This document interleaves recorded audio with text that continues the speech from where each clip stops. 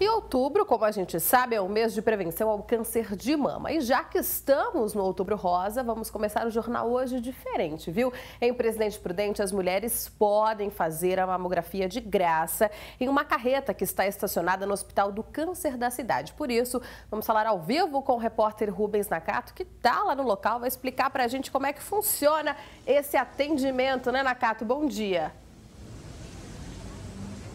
Bom dia, Jéssica. Bom dia a todos. Olha, o principal e o mais importante é a retirada de senhas. Hoje essas senhas o pessoal acabou de me informar aqui que já acabaram, que veio bastante gente bem cedinho aqui, porque por dia são distribuídas 50 senhas. Essas senhas hoje já acabaram, mas os atendimentos eles prosseguem até às 6 horas da tarde. Amanhã também vai ter mais distribuição de senha, mais 50 senhas, viu? A partir das 9 da manhã, atendimento aí seguindo também também até às seis da tarde e no sábado, atendimento das nove da manhã às a uma da tarde, perdão, com a distribuição de 25 senhas. Então é importante que o pessoal saiba aí que é preciso pegar essa senha para fazer aí o atendimento, para conseguir o atendimento. A gente está vendo, ó, Altair está mostrando, já tem bastante gente aqui para fazer ali o exame, a mamografia, né? E a partir do momento que eles, essa mulherada toda aqui é chamada, elas entram ali para uma recepção onde é feito um cadastro prévio, né? Né? E aí sim elas entram então para fazer o exame. O exame a gente sabe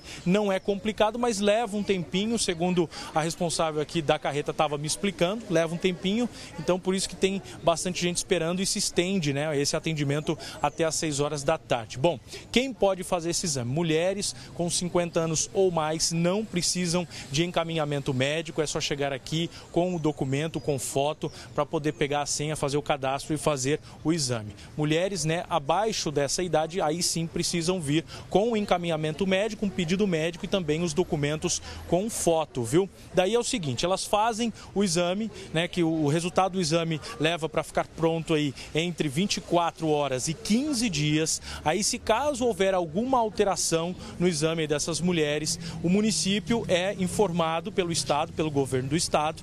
Aí sim ele notifica essas mulheres que tiveram alguma alteração para então comparecerem, né, a alguma unidade Pública de Saúde para fazer novos exames. Bom, então reforçando atendimento hoje amanhã, das 9 da manhã às 6 da tarde, no sábado, das 9 à 1 da tarde, com distribuição de senhas. É importante que as mulheres façam, né, Jéssica, a mamografia. Volto com você. Exatamente, um procedimento rápido, né, Nakato, que pode aí tem um papel fundamental na saúde dessa mulherada toda. Obrigada pelas informações, um ótimo trabalho.